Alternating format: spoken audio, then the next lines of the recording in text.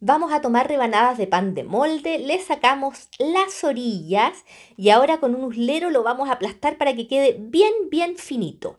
Rayamos una manzana, aquí tengo mantequilla de maní y le vamos a poner una capa de mantequilla de maní, manzanita por dentro y hacemos un rollito. Así quedan. Vamos a hacer lo mismo con todos los panes, ahora ponemos un huevito, le agregamos también un conchito de leche o de bebida vegetal y vamos a prender un sartén y le vamos a poner una gotita de mantequilla.